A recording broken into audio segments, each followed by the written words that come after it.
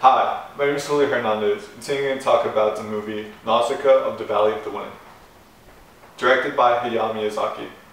Nausicaa is a princess of the Valley of the Wind, and she's a kind-hearted girl who cares about nature and people. Tolmekian Empire invades the Valley of the Wind in order to unite nations and burn down the toxic jungle. The toxic jungle is a jungle inhabited by mutant insects who are hostile to the people.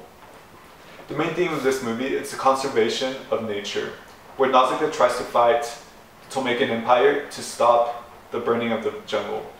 The other theme is anti-war, which he tries by peaceful means to stop the conflict between the Valley of the Wind and the Tolmekian Empire, but also stop the conflict between people and nature.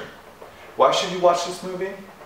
Easy, because humans are the antagonist of this movie. Plus, Nausicaa teaches you how, by peaceful means how to stop conflicts. This movie is recommended for all ages, but mostly for kids, because the animated movie uh, reflects a lot of colorful and beautiful um, pieces. It's also recommended for older people because older people uh, will understand more the plot of this movie. You should also watch Princess Mononoke and Grave of the Fireflies, which are movies that are also the same. Well, one is the same director, but the other one is kind of the same theme. Um, this movie reflects a lot about how us people have been treating nature, and it's really dangerous to be um, being careless about how to disrespect nature. Thank you for watching.